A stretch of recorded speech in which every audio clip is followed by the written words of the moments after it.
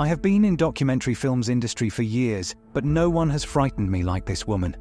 fasi yote nishakuwa mulozi Every man who falls for her ends up dying quickly. wanamufianse alilunga bwana wanakufa She has had many boyfriends and has been married before, but each of them died within three months. Everyone who lives near her is scared of her.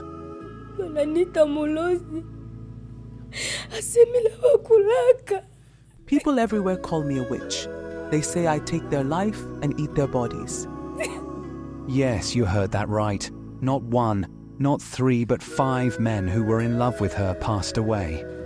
tumeingia 2024 na njo wata- All four men died in the year 2023, and the fifth man died in this year, 2024. I am not usually scared of magic, but the thought of meeting this woman made me very frightened. aparama ni mulozi. Aparama anajua venye anakuwa ndani. Njo maana anakamata vale vanaume epi anavakula maetwale zavo anavaua c'est juste ça. Na njo venye vinamutesa zaidi. Anauliza mungu amsaidie vraiment aweze kupona. It seems she is a witch and knows what she is doing. That is why she takes every man, steals their luck, and then takes their life. Today, we return to Congo. DRC is the second biggest country in Africa and the 11th biggest in the world. When I heard this story, I wanted to meet this woman to learn more. Why does every man who loves her die? Is she really a witch, like people say? And how do the people who live near her act around her?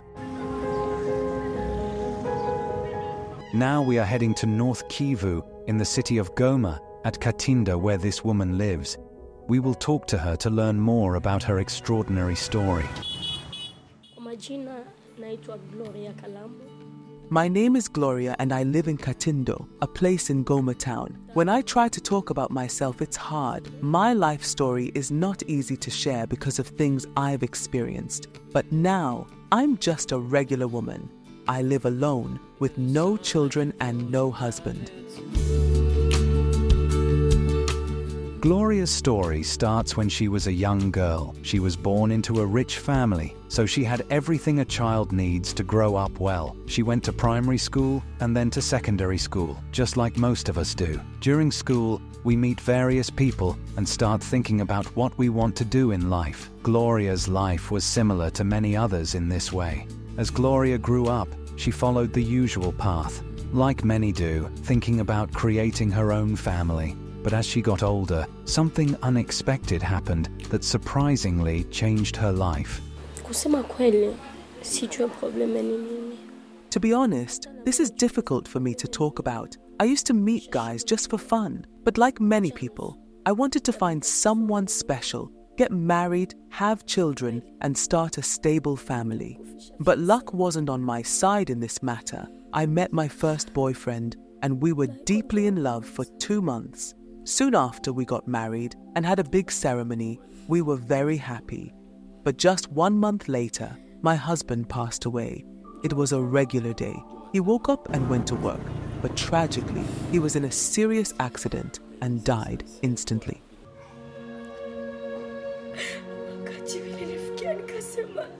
Everyone understands how painful it is to lose someone they deeply love. After Gloria's husband passed away in an accident, she didn't blame anyone. She believed it was part of God's plan. This was a very hard time for Gloria, but she stayed strong. She had to say goodbye to her husband and then began to build a new life for herself.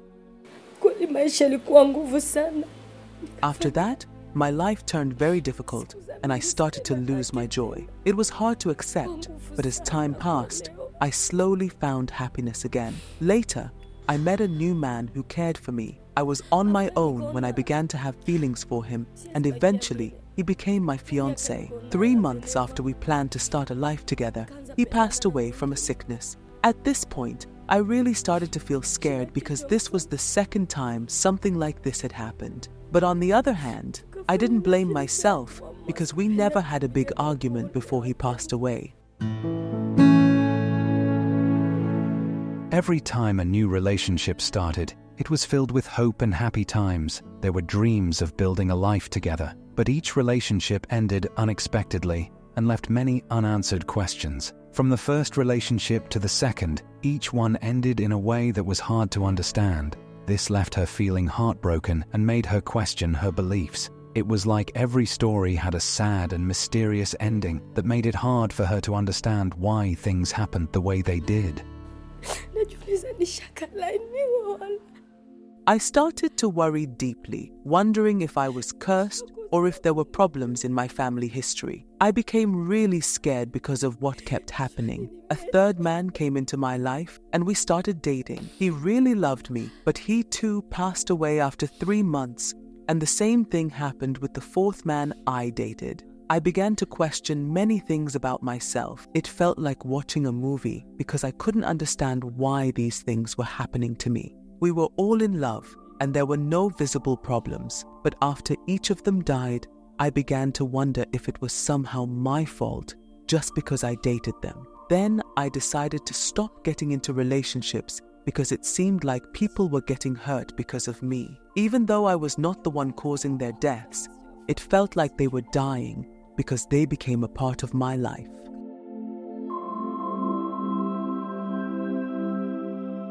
After deciding to stop being in a relationship again, she took time to settle down and spend a lot of time on other things that are far from romantic. As they say, no one can escape something that is meant to happen to them. The further he got away from it, the more it became worse.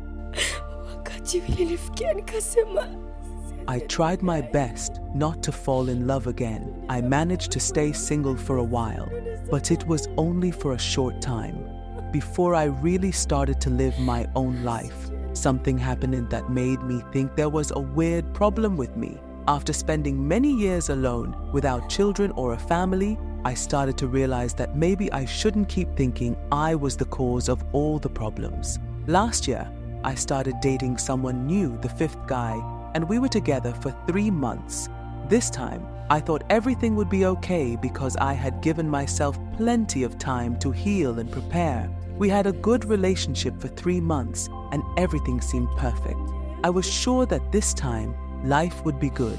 We got married and all seemed well.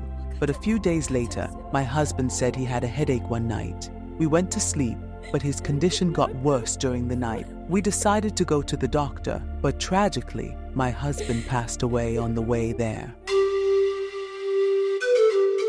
This time, Gloria was very upset because she understood that what she thought was normal was actually a very big problem. She had no children, no husband, no family, and she felt like she had no reason to live.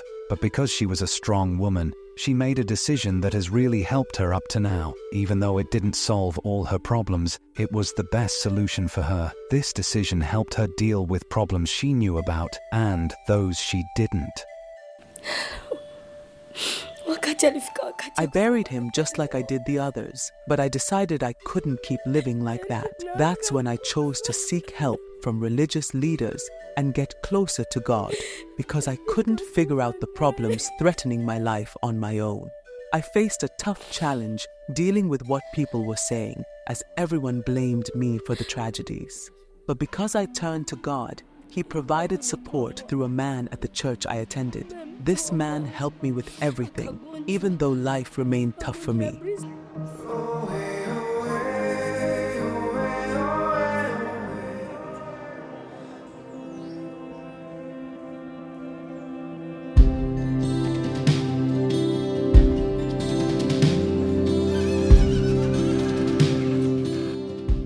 Kwa wananiita Frere Emmanuel.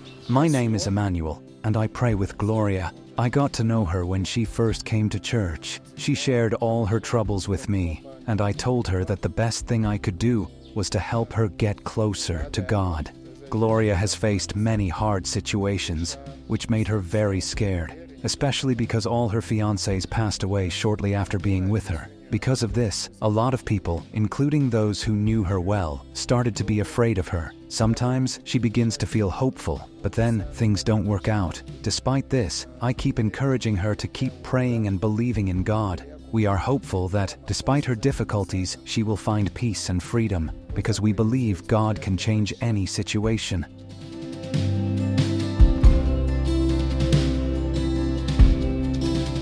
This person supports her every day and is always there for her, both at church and at home.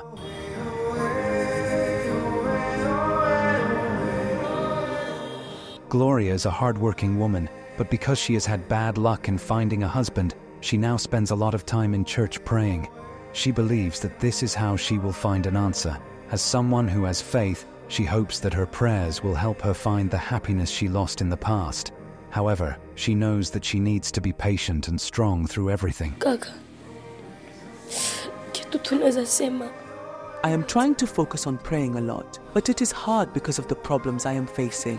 People everywhere are calling me a witch, from the families of the guys I dated to my neighbors and everyone I know. They blame me for their deaths, but I am not a witch and I don't understand these accusations. Sometimes I feel so unlucky and sad that I think about giving up on life, but then I realize that is not the solution. I decided to devote myself to God, and I've been seeking a miracle from Him. Sometimes I actually feel peace in my heart, which is new for me. This makes me believe that God is healing my pain.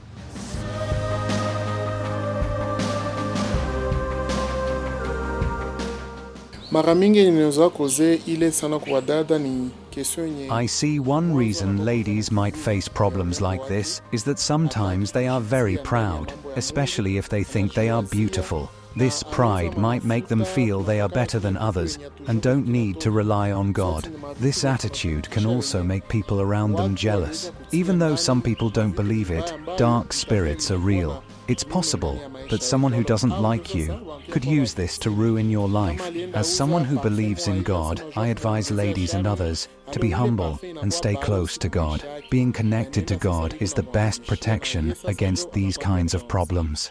Oh, What should I say to people who judge me and accuse me of being responsible for my children's problems or call me a witch? I want to say that I have never intended to harm any of my boyfriends. Even though people have blamed me, my advice to others is not to judge. Sometimes people are facing tough situations and they need support, not criticism. I am asking everyone to please pray for me so that God can help me overcome this problem and allow me to have a family. Also, I want to say thank you to everyone who is supporting me during this tough time.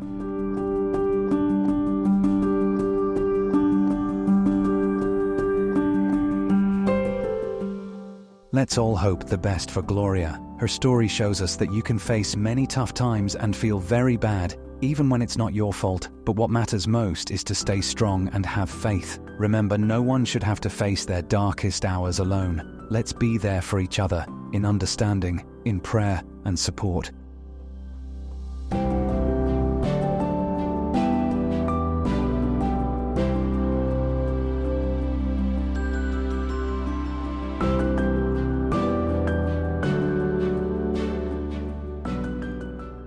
Thank you for watching. I am Simon Greenwood, and this is Afrimax English. Please remember to subscribe.